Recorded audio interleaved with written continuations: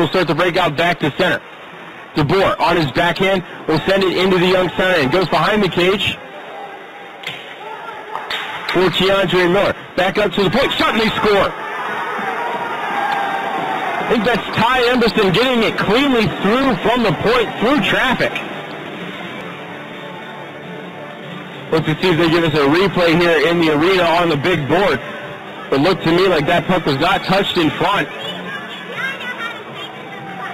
Hughes sends it over to Wahlstrom, stick handling near the blue line, sends it to Farabee. Farabee knocked off of the puck by Casero. Puck's loose at the mouth of the crease now, still loose. Hall sweeps it out of danger, but it's going to be kept in at the point by Emberson.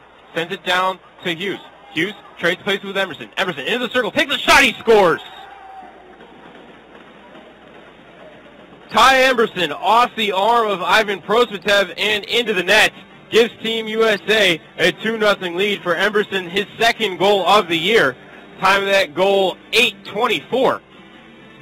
Hughes going to get the primary assist on this one as Emberson running the cycle up high with Jack Hughes. Stepped into the circle. USA will skate out. 25 seconds to go in the penalty kill. Now a stick up high. And Shore holding his mouth. But wait a minute, a shot from Emberson. He scores!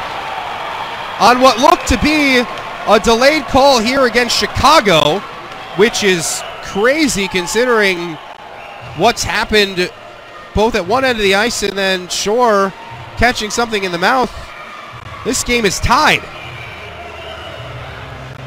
A power play goal. Over 10 minutes to go in the third period. Christian Berger with the puck here, sends it towards the net, pops out in front, nobody there for the Caps. USA brings it down the ice, cross ice pass, Wise feeding the middle, and they score. A backdoor tap in, and USA with an insurance goal it's 3 to 1. Smart play from Jake Wise. Capitals at the other end. Uh, getting a few shots through, not all of them on net, and uh, USA able to pick it up and uh, exit the zone efficiently and head down the other way. I couldn't tell who the forward for USA was that tapped that one in, but Jake Wise able to come up the right wing with the puck and make a good pass out in front.